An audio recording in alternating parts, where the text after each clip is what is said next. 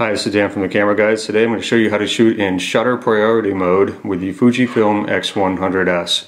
So the X100S does not have a shooting mode dial like a lot of today's digital SLRs. So what that means is you have a shutter speed dial here, then you have the aperture selection on the lens barrel. So if we want to shoot in shutter priority mode, we are going to choose the shutter speed that we want. So right there we're at 1 250th of one second. And then on the aperture barrel, we want that to adjust automatically so that the exposure comes out appropriately. So we're going to put that over on the A. So now if we look on the back screen here, we can see that we are in shutter mode, 2 50ths of a second, and when we hold down the trigger, it's going to load a aperture of f2 to compensate for this particular um, lighting situation.